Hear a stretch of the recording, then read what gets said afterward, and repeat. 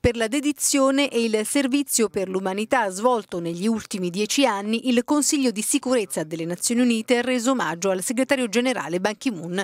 È stato il grande privilegio di una vita ricoprire l'incarico, ha detto Ban Ki-moon, che si prepara a lasciare. We all can and must contribute tutti noi possiamo e dobbiamo contribuire a costruire la fiducia così dolorosamente necessaria in Medio Oriente, nel mondo di oggi.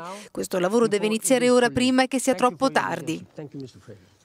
Ban Ki-moon ha lasciato il suo segno. Ora il timone passa a Antonio Guterres, che assumerà le sue funzioni il 1 gennaio 2017 e che ha giurato il 12 dicembre esprimendo la sua stima per Ban Ki-moon.